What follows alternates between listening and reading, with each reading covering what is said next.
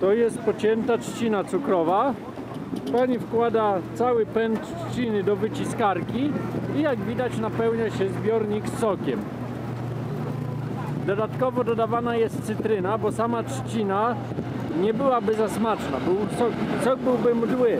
A tak wyglądają wytłoczyny z trzciny, które wychodzą prosto z gardzieli maszyny.